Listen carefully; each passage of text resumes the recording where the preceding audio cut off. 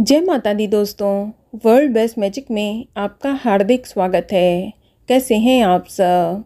ये बताने के लिए कमेंट बॉक्स में जय माता दी ज़रूर लिखें। दोस्तों, साल 2024 का पहला सूर्य ग्रहण 8 अप्रैल 2024 दिन सोमवार को लगने जा रहा है। और इस सूर्य ग्रहण को लेकर लोगों के मन में कई सारे सवाल हैं। जैसे कि ये सूर्य ग्रहण भारत में दिखाई देगा या नहीं?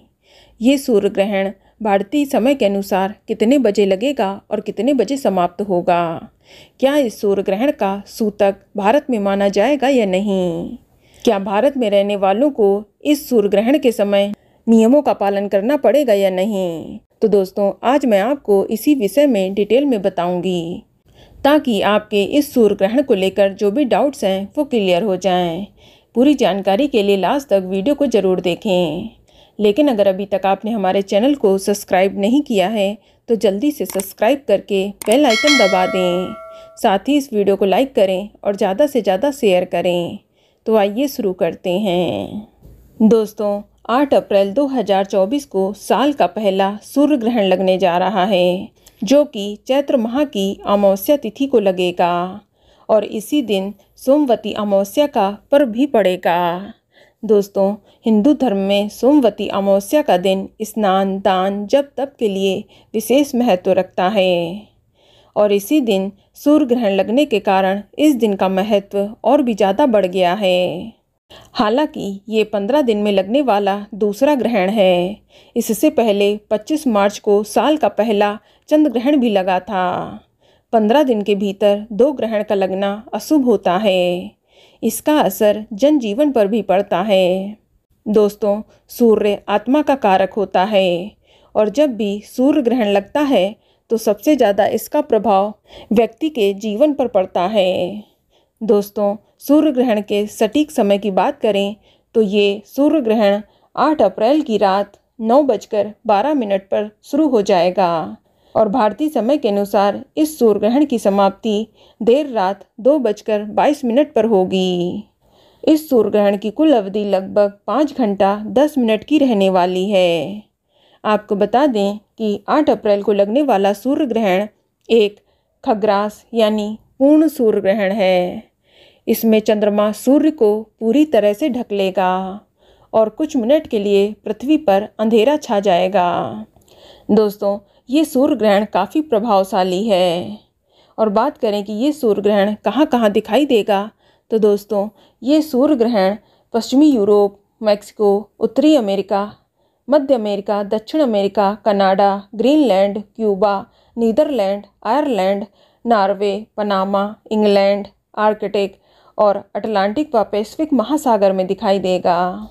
हालाँकि 8 अप्रैल का लगने वाला सूर्य ग्रहण भारत में दिखाई नहीं देगा। क्योंकि जिस समय ये सूर्य ग्रहण लगेगा, उस समय भारत में रात होगी। इसीलिए ये ग्रहण भारत में किसी भी स्थान से देखा नहीं जा सकेगा। और बात करें इस सूर्य ग्रहण के सूतक काल के समय की तो दोस्तों, ये सूर्य ग्रहण भारत में दिखाई नहीं दे रहा है। इसीलिए इस सूर्य ग्रहण का सूतक काल भारत में माना नहीं जाएगा।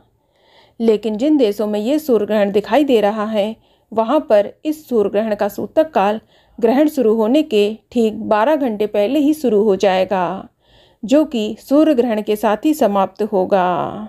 दोस्तों, सूतक काल अशुभ समय होता है। इस दौरान कोई भी शुभ या मांगलिक कार्य नहीं किए जाते हैं। सूतक के दौरान भगवान के मंदिर में पर्दा डाल दिया जाता है और मूर्ति का स्पर्श वर्जित हो जाता है। हालाँकि भारत में मंदिर के कपाट नहीं बंद किए जाएँगे। क्योंकि भारत में इसका सूतक काल नहीं माना जाएगा। दोस्तों, अब सबसे ज़रूरी सवाल का जवाब कि क्या इस सूर्य ग्रहण में नियमों का पालन करने की आवश्यकता होगी या नहीं? तो दोस्तों, आपको बताना चाहूँगी कि ये सूर्य ग्रहण भारत में दिखाई नहीं दे रहा है। इसीलिए इस सूर्य ग्रहण के समय नियमों का पालन करना कंपलसरी नहीं होगा। क्योंकि हमारे शास्त्रों में ऐसा वर्णन है कि जो ग्रहण जिस स्थान पर दिखाई नहीं देता है उस स्थान पर उस ग्रहण का धार्मिक महत्व नहीं होता है और उसका सूतक, यम, नियम, उसका पालन करना आवश्यक भी नहीं होता है। लेकिन बहुत लोगों का मानना ये भी है कि जब भी सूर्य या चंद्र में ग्रहण लगता है तो हमें नियमों का पालन करना चाहिए, क्योंकि सूर्य हमारे प्रत्यक्ष देवता हैं, जिनके हम रोज़ दर्शन करते हैं। और जिसका प्रभाव हमारे जीवन और हमारी कुंडली पर भी पड़ता है। और जब भी सूर्य में ग्रहण लगता है तो उस समय सूर्य पीड़ित अवस्था में होते हैं और अशुभ फल देने लगते हैं। इसीलिए बहुत लोगों का मानना ये भी है कि ग्रहण के दौरान हमें थोड़ी सावधानी बरतनी चाहिए। हालाँकि बहुत से लोग हर तरह के ग्रहण को मानते हैं, खासकर जिनके घर में प्रेग्नेंट लेडीज़ हैं। उनके घर के बड़े बुज़ुर्ग ग्रहण के नियमों का पालन करने के लिए बोलते हैं। तो सेफ्टी पॉइंट ऑफ़ व्यू से जो लोग सूर्य ग्रहण के नियमों का पालन करना चाहते हैं तो वह बेशक कर सकते हैं। वैसे ग्रहण कैसा भी हो, भगवान का ध्यान, स्मरण, मंत्र जाप ज़रूर करना चाहिए। ये हमेशा आपको लाभ ही पहुंचाएगा। और दान भी जितना किया जाए, उतना ही पुण्य कर्म आपके भाग्य को प्रबल करता है। इसीलिए आप ग्रहण के समय भगवान का जाप करें और इस समय सूर्य के मंत्रों का जाप करें। या फिर ओम नमः शिवाय आदि का जाप करें। और इसके बाद जब ग्रहण समाप्त हो जाए तो अन्न, वस्त्र और धन का दान भी ज़रूर करें। इससे आपको लाभ मिलेगा।